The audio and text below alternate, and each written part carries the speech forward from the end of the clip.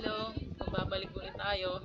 Uh, ngayon, ang topic natin ay sa lagi naman. Nalagyan natin ng validation.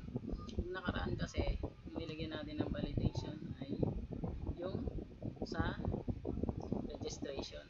Mas na-clinic ng user to, hindi to mag-submit kasi wala pa siyang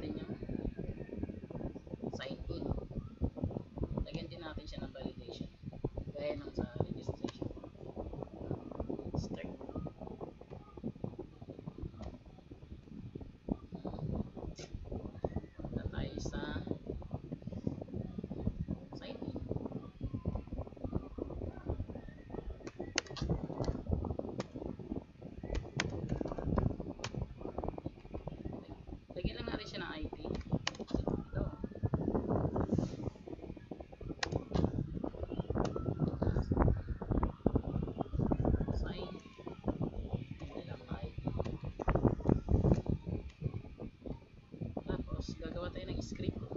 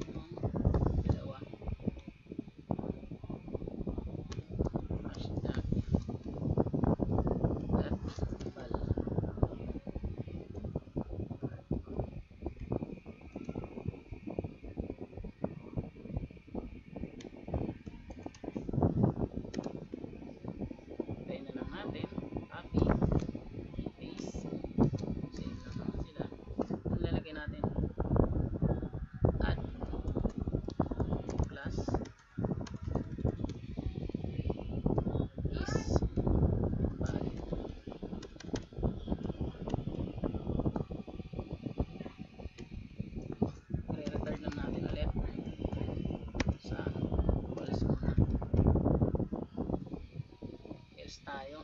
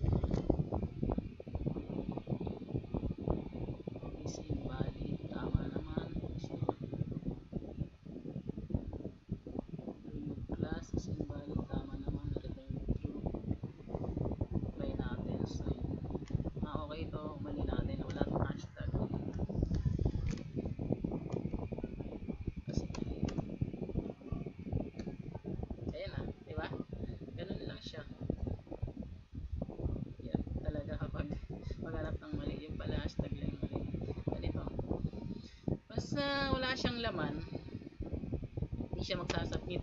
Pero once na nagkalaman yan, part na yun, yung input field na yun na may laman, yun lang yung magigreen. Di ba?